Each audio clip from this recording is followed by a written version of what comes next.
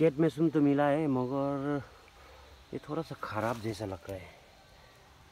ख़राब है, ये इंसेक्ट घुस गया है। ये कैट मशरूम बोलता है इसको, ठीक है? बीरा लच्चो बोलता है नहीं सिक्किम में।